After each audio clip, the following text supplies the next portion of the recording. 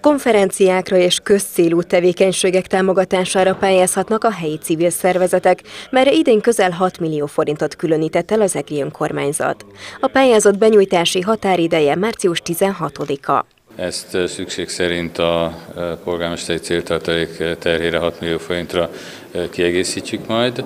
Itt nyilván EGRI kötődésű, EGRI székhelyű, vagy Egerben jelentős munkát végző civil szervezetek szakmai programjának a támogatására nyílik majd lehetőség. Ebben az évben is pályázhatnak azok a kulturális szférában tevékenykedő civil szervezetek, akik támogatást szeretnének programjaik megszervezésére. Erre évente kétszer lehet pályázni, az első fél évben április 30-a a benyújtási határidő. Támogatásunk, pályázatunk 2,2 millió forintról szól.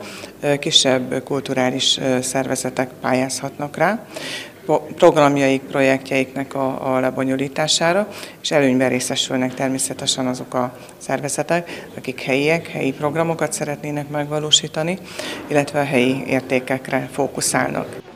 Emellett idén is folytatódik az EGRI ifjúsági zenei program, melyben a fiatal zenészek kapnak próbaterembérlésre, koncertszervezésre, illetve lebonyolításra támogatást, valamint hang- és videófelvétel készítésére költségtérítést.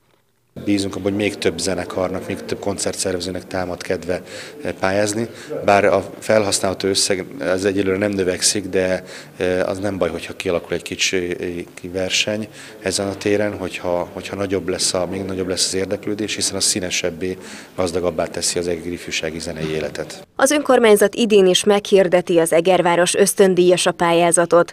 2018-ban felsőfokú oktatási intézmények napali tagozatos fiataljai számára a cél az, hogy a hallgatók pályakezdését segítsék. A pályázatok részleteiről az eger.hu oldalon tájékozódhatnak az érdeklődők.